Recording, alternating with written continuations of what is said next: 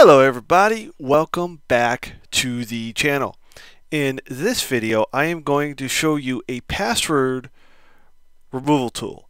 It is called TIPARD, T-I-P-A-R-D, password removal or password reset.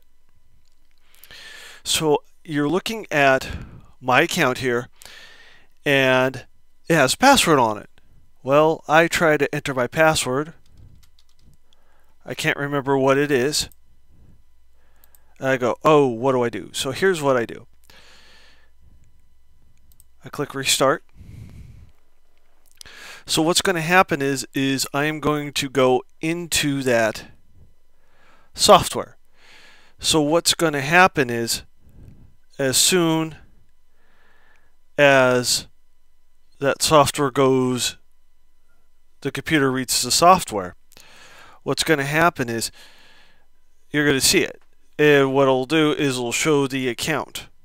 And once it shows the account,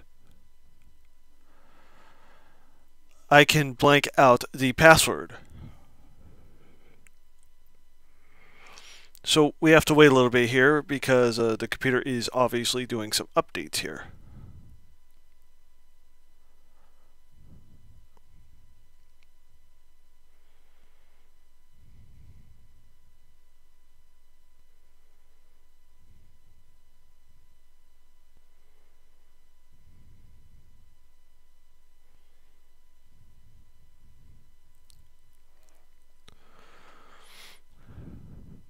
So I will be back when this is done.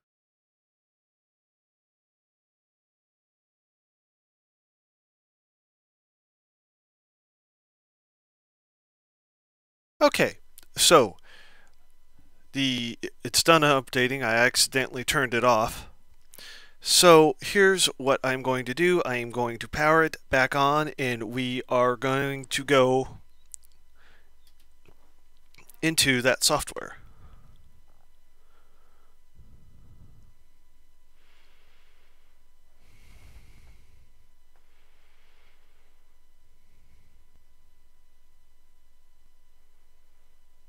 There we go. It is loading the software now. So what you're going to see is says loading RAM disk image. What's happening is is the computer is reading the image from the disk and it's throwing it into memory is what's happening. Now what you see is something called Windows PE. The PE stands for pre-existing environment.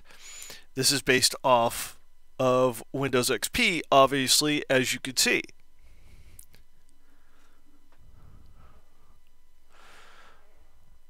Okay, so as you see here, there are multiple accounts. You have the ID is 500, which is the administrator, and the password is unknown.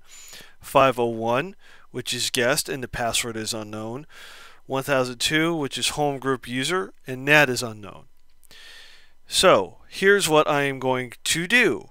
I am going to select administrator, click reset password. You set and what will happen is, as you said, set it to blank, so I set it to blank. So now we can reboot it. I take the disk out.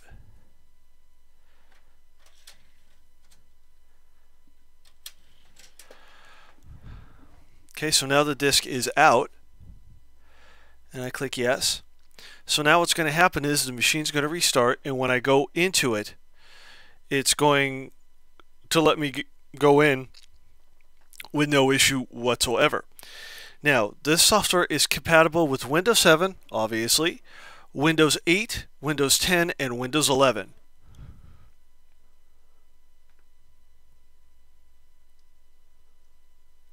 Start Windows normally.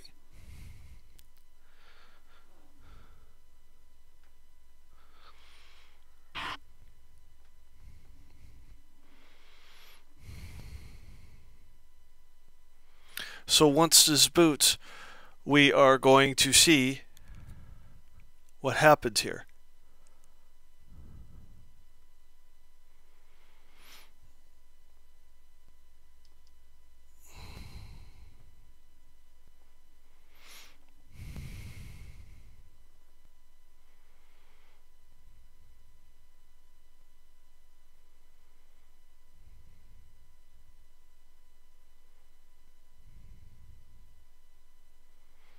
and the software that I had bought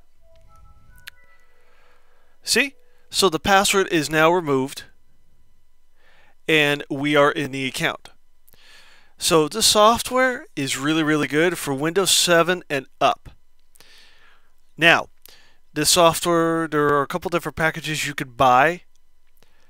Um, the trial will not let you reset passwords.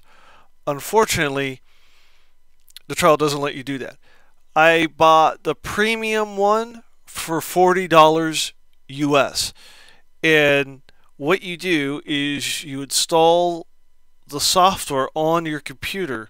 Then what you do is you create a boot CD, DVD, or boot USB. You go into it just like what we saw, and you can change your password. And as you can see, we are in with no problem whatsoever. So anyway, with that said, that is it for this video. Please comment, like, subscribe, and click that bell for more notifications.